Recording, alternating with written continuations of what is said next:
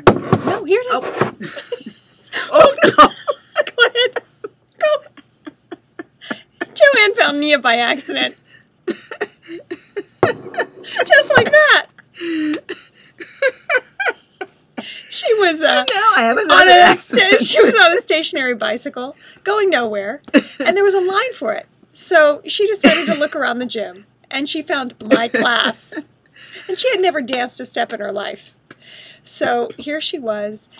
With all these people, and at first she was a little self-conscious, but guess what? A she realized that nobody was really paying much attention to her. They were all just having a good, good time. time.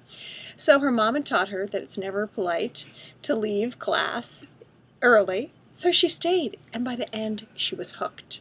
On the spirit. Yeah, and you tell my story. And Caroline was a professional dancer and is still a dancer of great talent.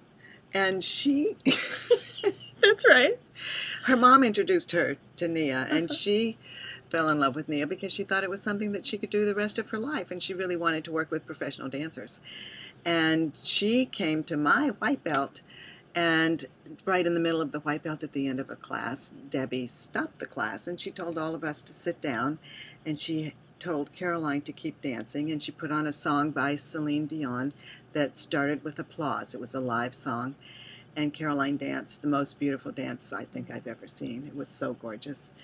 And Debbie just has this ability to know and understand the importance of ha- allowing someone to show the beauty of their inner self, which is actually what Nia does too. and so you. years later, like recently, I was in Portland and I watched Debbie do it again.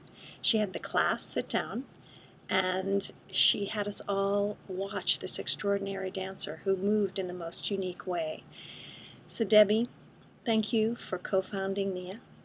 Thank you for supporting everyone in their brilliance and in finding their path. And thank you for being a beautiful dancer yourself, right? I, uh, I'm always moved by the fact that you've only danced like six hours in your life and you are this amazing, beautiful, beautiful mover. Happy anniversary, Nia. Congratulations, Debbie. We love wish you. we were there.